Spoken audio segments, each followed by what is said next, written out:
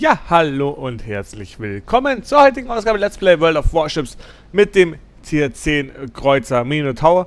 Und in dem Fall der Matze 337 hat mir hier das Replay zukommen lassen. Vielen lieben Dank, mein Lieber, dafür, dass du das geschickt hast. Alle anderen, die das ebenfalls machen wollen, unten in der Videobeschreibung, da findet ihr, wo und wie das Ganze zu funktionieren hat. Jetzt schauen wir aber mal, was er da mit dem Schiff imstande ist zu leisten.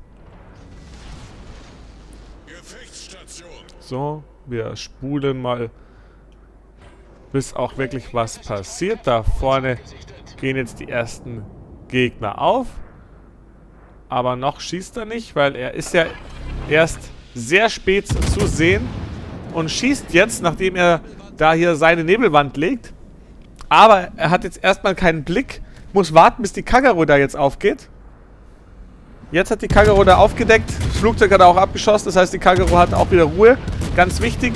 Und die Minotaur hat ja nur AP, aber ein, einen, oh, einen AP-Regen würde ich es mal fast nennen.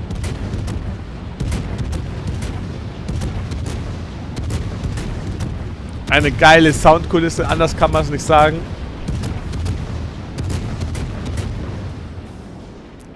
So, leider hat jetzt die Kagero ebenfalls genebelt, deswegen hier kein Blick mehr. Hydroakustische Suche hat er aktiv.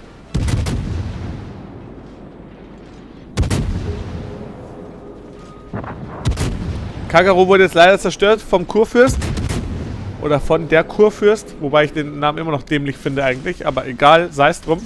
So, jetzt nimmt er mal ein paar Torpedos daher. Hat die auch so verteilt, dass die so ein bisschen versetzt ankommen. Und jetzt muss er aufpassen, da vorne kommen ebenfalls Torpedos. Gut, dass er hier die frühzeitig sehen kann. Dementsprechend kann er jetzt noch was machen. Und auch von der Seite kommen welche. Also jetzt heißt es hier schnell weg. Gut, dass er da die sieht, weil sonst wäre es jetzt ganz schnell erledigt gewesen für ihn. Weil, sagen wir mal, noch 10 Sekunden länger stehen, dann wäre er nämlich sofort zerstört gewesen und die Runde wäre schon beendet.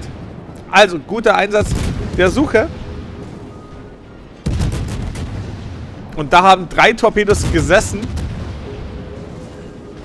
Also die hat er ordentlich platziert. Allerdings muss er aufpassen, weil er wird hier auch gut getroffen. Aber da mal gesehen, die gegnerische Minotaur, glaube ich, war das, die er da getroffen hat. War nur ganz kurz zu sehen durch den Rauch, dann auch schon direkt wieder weg.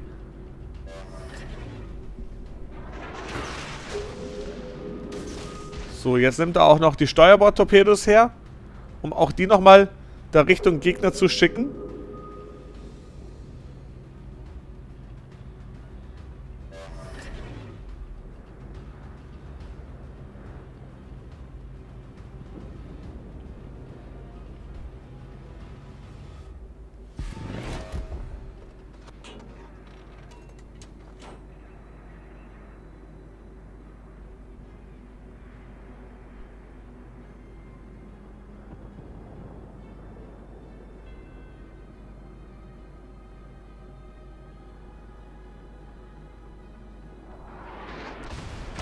Er ist hier weiterhin offen. Wir sehen, oh, das ist natürlich jetzt die gegnerische Minotaur, hat ihn jetzt hier am Kicker. Ich glaube, ich wollte gerade sagen, nochmal direkt den nächsten Rauch da zünden. Und jetzt trifft aber auch noch ein Torpedo. Oh, der hat er Glück, dass der Torpedo vorher ausläuft. Aber da musste er unbedingt hier den Nebel zünden, weil das hätte nicht mehr lange für ihn gut gehen können. Er ist hier auch verhältnismäßig alleine gerade.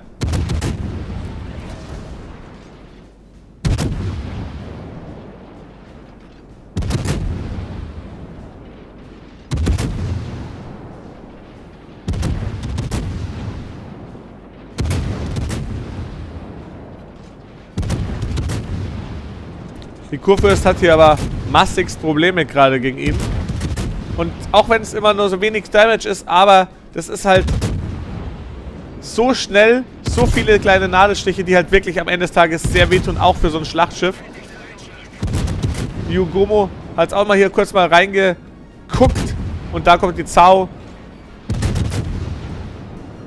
Der Rauch hält noch eine Minute, also hat er noch genug Zeit zum Schabernack machen. Das schießt sich jetzt hier gut auf die Zau ein. Achtet oben mal auf den Damage Counter, wie der nach oben tickt. Also auch wenn man denkt immer so, ja, 1000 Schaden und so ist ja gar nichts. Aber so schnell wie der hier schießt, da kommt halt doch was am Ende des Tages rum. Jetzt ist er aus dem Rauch rausgefahren. Korrigiert da jetzt ein wenig nach.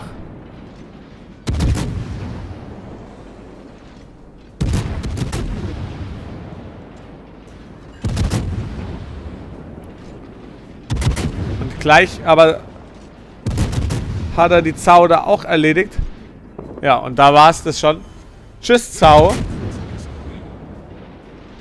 Und da jetzt die gegnerische Minotaur, die ihn ja selber schon auf den Kickerfall genommen hat. So, die Kurfürst, die ist gleich durch. Die ist da zu weit vorgefahren. Aber sehr schön. Kurfürst hat da die Minotaur noch ordentlich rausgenommen. Sozusagen mit der letzten, auf der letzten Rille war es da noch möglich für die Kurfürst.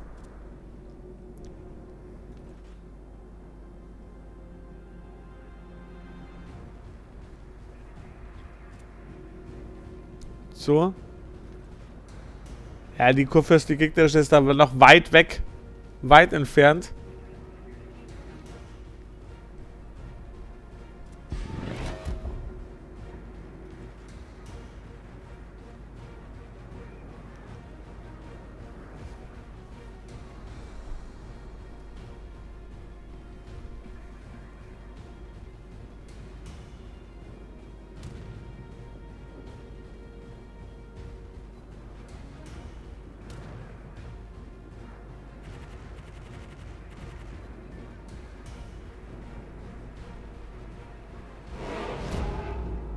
Das erste Mal in der Runde wird es wieder ein bisschen ruhiger, aber kaum sage ich es, kriegt er sofort schon die nächsten Granaten rein.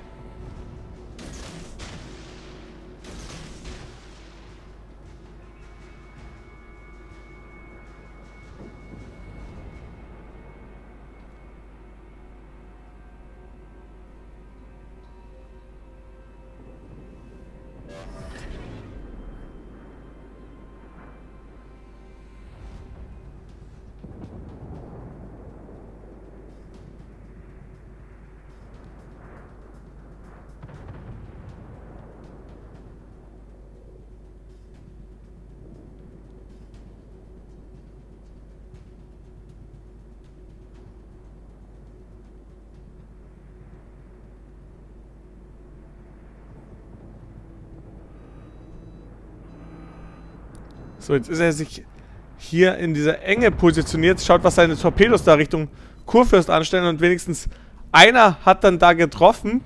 Hat auch einen Flutungsschaden verursacht. Aber den kriegt er leider nicht. Denn äh, da wurde der scheinbar direkt repariert.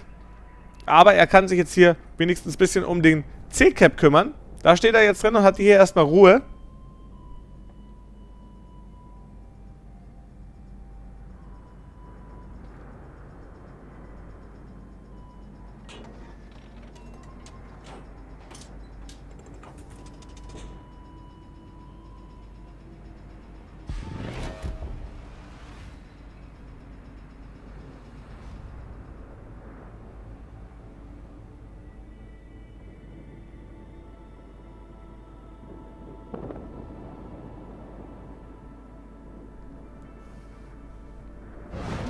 Ah, da muss aufpassen. Kurfürst sehr, sehr nah. Und so wahrscheinlich von der Bewegung hier wird die auch eher hier runterkommen. Ich kann mir nicht vorstellen, dass sie dann nach oben abbiegt. Und dementsprechend wird es jetzt hier gleich, denke ich mal, richtig zur Sache gehen. Jetzt ist er da auch offen. Ja, und ich glaube, das spart er sich da jetzt rumzuschauen. Denn da hätte er nicht viel Chancen im Close Combat, außer vielleicht mit seinen Torpedos da ein bisschen was zu machen. Aber er ist meines Erachtens gut bedient, wenn er jetzt nicht das One-in-One -One sucht. So, das Flugzeug ist jetzt erstmal passé. Wenigstens etwas. Und jetzt kann er sich vielleicht so positionieren, dass er rankommt, entweder an der Insel mit den Torpedos, muss aber aufpassen. Das ist jetzt schon sehr risikoreich. Man sieht auch, Kurfürst vollkommen auf ihn eingeaimt. Und da hat er noch, in Anführungszeichen, Glück, dass er nur ein paar tausend Damage bekommt. Und er sucht jetzt sein Glück da auch noch ein bisschen. Ah, der war ein schöner Treffer. Da hat er jetzt nochmal gut was landen können.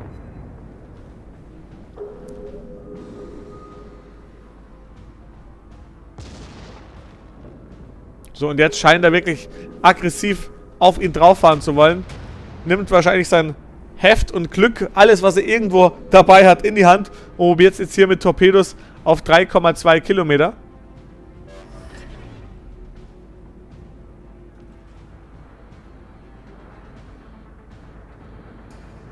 Oh, wahnsinns knappes Ding. Drei Kilometer, also das ist wirklich mutig, muss ich sagen. So, natürlich weiß die Kurfürst auch, dass sie damit Torpedos überrascht werden könnte.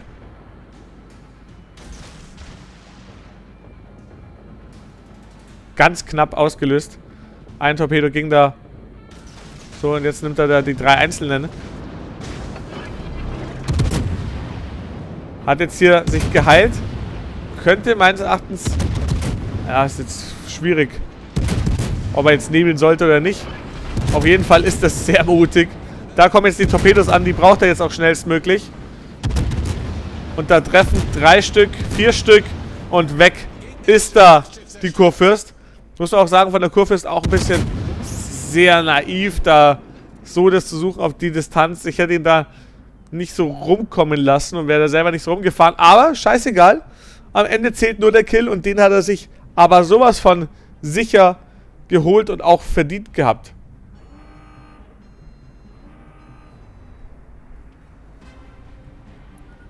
Die Donskoi da hinten nur noch 400 Hitpoints. Also das ist ja fast gar nichts mehr.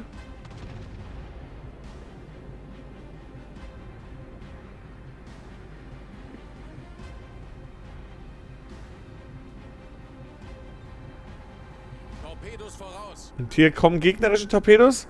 Aber die hat er früh genug gesehen. Und da, deswegen kann er hier auch noch ausweichen. Aber eine Sekunde später und er hätte die Bewegung nicht mehr hinbekommen. Also das war ein bisschen glücklich.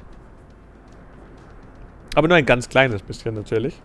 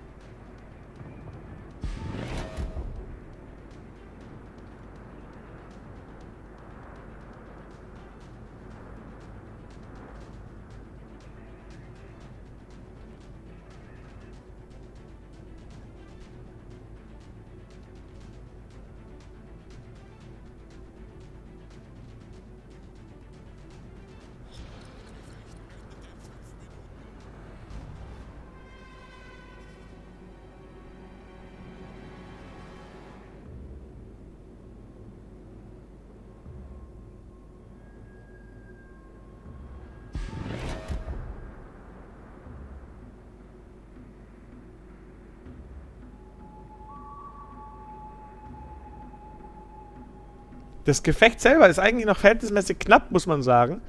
Vier Gegner, äh, vier eigene Schiffe gegen drei Gegnerschiffe. Sie haben einen Cap mehr, das ist natürlich deren Vorteil. Also der Gegner muss hier dementsprechend attackieren, wenn er nicht verlieren will.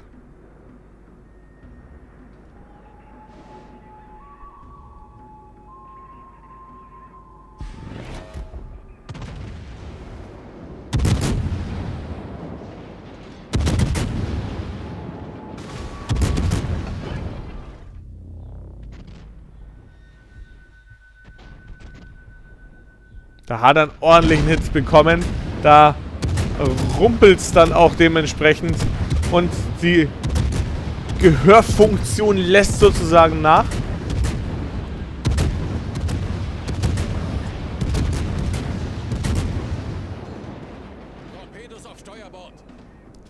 Da hat einiges nochmal an Granaten losgelassen.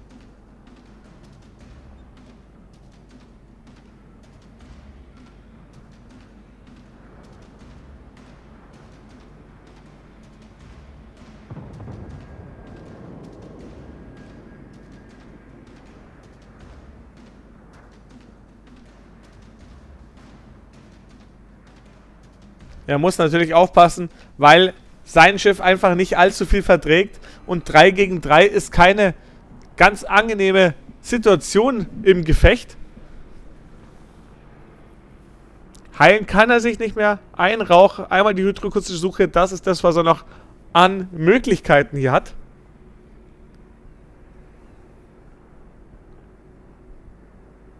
Er schreibt auch, dass die Iowa safe bleiben soll. Also nicht zu viel riskieren.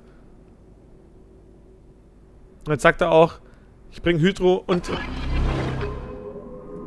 Rauch an den Start. Hardcore Muffin liest es auch und bedankt sich dementsprechend. Weil natürlich der Gegner immer noch mit der Gearing einen Nervzerstörer hat, den man nicht unbedingt braucht. Aber sie brauchen halt nur noch 100 Tickets. Dann haben sie halt die Runde geschafft. Und jetzt sehen wir auch, die sind schon offen. Die Gearing ist da dementsprechend am Start mit Torpedos und Spotting. Schön gemacht, schön umfahren. Nicht mal da gerammt. Und jetzt geht der Rauch an. Und jetzt können sie loslegen. Hat er sehr schön, sehr teamdienlich gespielt. Und hier auch nochmal die nächsten Torpedos, die er hier spottet. Da muss er jetzt nochmal ein bisschen beschleunigen und auf Backboard steuern, genauso. Die Runde ist so gut wie zu Ende. Ich hoffe, es hat euch gefallen. Und wenn ja, lasst einen Daumen da oder kommentiert auch das Video sehr gern, wie eure Meinung auch zu dem Schiff ganz besonders ist. Denn als es released worden ist und die Briten nur mit AP gekommen sind, gab es große Diskussionen. Daran will ich nochmal erinnern. Ansonsten vielen Dank für eure Aufmerksamkeit. Bis zum nächsten Mal. Euer Alcaramba.